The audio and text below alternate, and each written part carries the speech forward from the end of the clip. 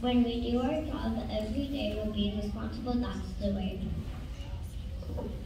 We clean our messes, desks, and toys, and follow directions with minimal noise. Our manners are used to say thanks and please. We cover our nose if we have to sneeze.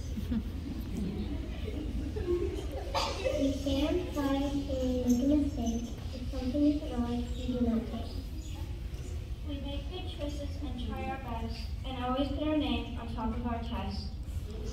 Being responsible is easy to see. We can do it together. Come follow me.